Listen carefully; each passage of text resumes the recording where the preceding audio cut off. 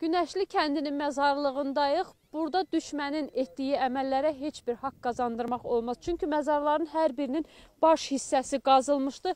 Bunlar qızıl axtarmaq məqsədi ilə ölən insanların kəllə sümüklərini çıxartmışlar. Bundan əlavə də məzarların hər birinə güllələr vurulmuşdu. Mərmərdən olan baş daşları isə tamamilə sökülüb aparılmışdı.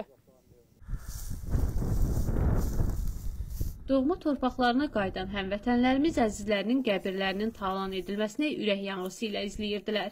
Amma özləri ilə hazırladıb gətirdikləri baş daşı ilə yaxınlarının məzarlarını yenidən bərpa etmələri sanki onlarda bir qədər tutdaqlıq yaratdı.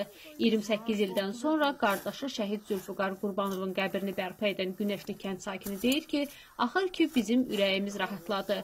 Onların ruhu isə dinclik tapdı.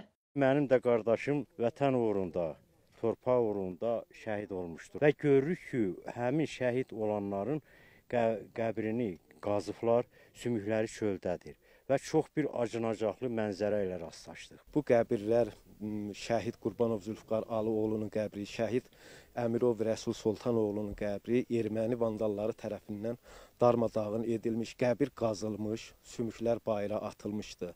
Dağıdılan, güllələnən, talan edilən qəbirlərin sayı isə təəssüf ki, az deyil. Bu vandalizmi biz təkcə Günəşli kəndində yox, demək olar ki, işğaldan azad olunan bütün torpaqlarımızda görmüşük. Tahirə Teymur qızı Ramin Mehdi, İTV xəbər, Kəlbəcər.